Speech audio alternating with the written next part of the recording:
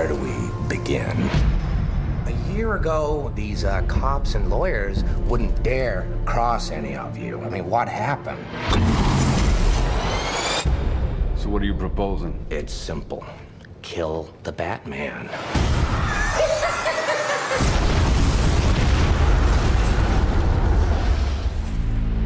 Good evening, ladies and gentlemen.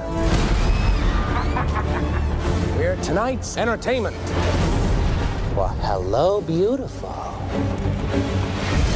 You look nervous. I've seen now what would have to become to stop men like him. The night is darkest just before the dawn. I promise you, the dawn is coming. And here we go.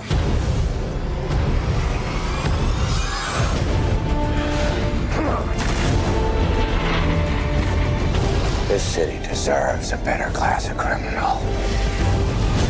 I'm gonna give it to him. No! You'll see. I'll show you. You either die a hero, or you live long enough to see yourself become the villain.